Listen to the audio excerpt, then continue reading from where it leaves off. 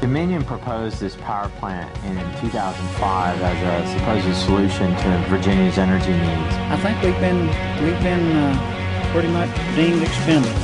Regardless of what is said in that building today, know you are right. We have already won.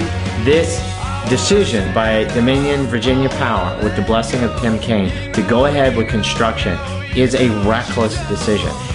The government has not represented our views. They've represented the views of corporate interest. Asthma is on the rise. No, we are poisoning our children. We love our children, even if they don't. We love our communities and our people, even if they don't.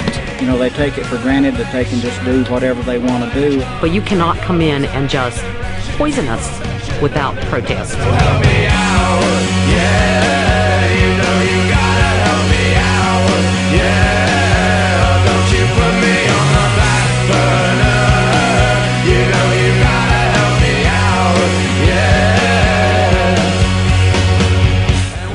Who's this power for? Yeah. Dominion says that this plant is needed for them to meet the energy needs of Northern Virginia.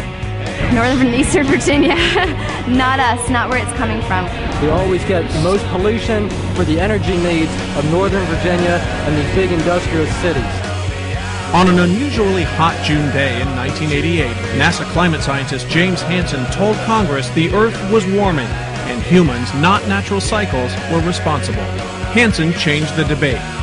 The only way we're going to keep climate within a reasonable range is if we phase out use of coal.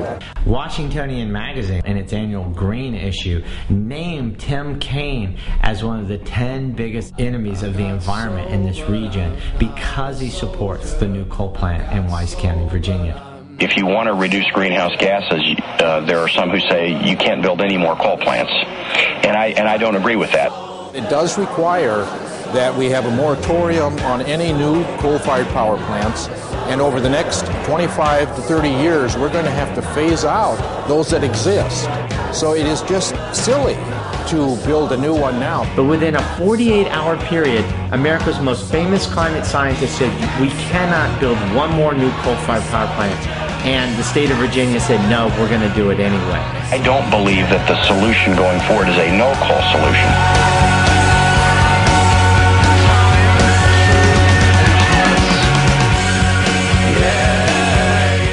Clean coal is not a reality.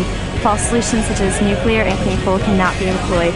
So you're looking at two to five times the cost to build new plant as opposed to design the current system more efficiently.